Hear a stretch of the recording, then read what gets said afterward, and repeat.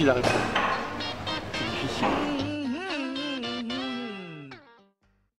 Ce qui, ce qui m'inquiète par rapport à toutes ces nouvelles énergies, c'est les déchets que ça peut, ça peut euh, créer.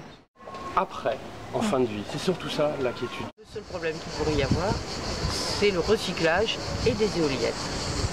Pourquoi les éoliennes? Puisque je crois que c'est une durée de vie de 20 ans, 20 à 25 ans. Et pour les, les panneaux, euh, les panneaux photovoltaïques, je ne sais pas ce qu'on en fait. Et puis on s'aperçoit que tout panneau solaire, il y avait souvent des escrocs qui voulaient poser, et puis qu'il faut les recycler aussi, les panneaux solaires. hein. Il y en a qui disent que ça fait du bruit, ça empêche l'animation des oiseaux, ça dérange les, les ratons laveurs qui sont en bas, n'importe quoi. c'est- c'est- J'ai été notamment au Danemark dans des champs d'éoliennes, il y en avait 80 que, que j'ai visités. Franchement, ça faisait pas un bruit qui me gênait. Beaucoup de personnes se plaignent de l'esthétique, moi je vois pas trop pourquoi. et, Les modules photovoltaïques ont une durée de vie garantie allant de 20 à 30 ans selon les fabricants. Cette garantie signifie que les panneaux ont une puissance au bout de la garantie égale ou supérieure à 80% de la puissance initiale.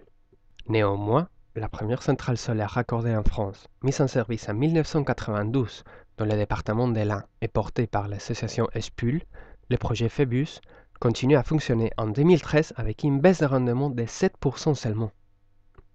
À ce rythme, on peut espérer continuer à produire de l'énergie solaire avec un rendement de 75% au bout de 60 ans. De prime abord, la filière photovoltaïque, bien que n'ayant pas encore réellement de volume de panneaux à recycler, s'est d'ores et déjà préoccupée du devenir du matériel qu'elle installe en mettant en place une filière de collecte et de revalorisation appelée PV Cycle, financée par une contribution lors de l'achat des modules. De quoi se compose un panneau? De verre pour la surface des panneaux, d'aluminium pour les cadres et les supports, de cuivre pour les câbles. Trois matériaux totalement recyclables. Pour le reste, les cellules sont composées essentiellement de silicium, dopées avec des éléments plus ou moins lourds leur donnant la propriété photovoltaïque. L'utilisation des terres rares et des matériaux polluants concerne la fabrication d'une petite partie de la filière, notamment technologie, couches minces et amorphes. Pour le reste, recycler une cellule revient à un procédé assez proche de celui utilisé pour sa fabrication purification, refonte, cristallisation. Ce processus est gourmand en énergie et en eau, mais lors de son fonctionnement normal, le panneau aura l'occasion de rembourser au moins 20 fois cette énergie.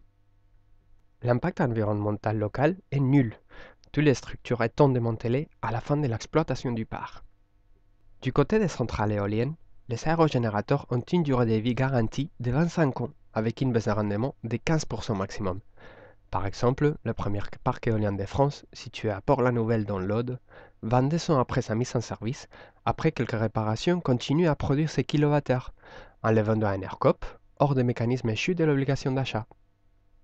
Le processus de recyclage des éoliennes est très simple et efficace, puisqu'une éolienne est composée à 98% d'acier et est une fondation en béton. Les seuls composants non recyclables, c'est la fibre de verre, mais nous pouvons les valoriser d'autres manières. Remblai, valorisation énergétique. Une fois l'éolienne démantelée, les fondations en béton sont inertes et enfouies à 3 mètres sous terre, donc il n'y a pas de conséquences sur la faune, ni sur la flore, ni sur l'écoulement des eaux. Les blocs de béton est même retirable si besoin, mais avec des coûts plus élevés.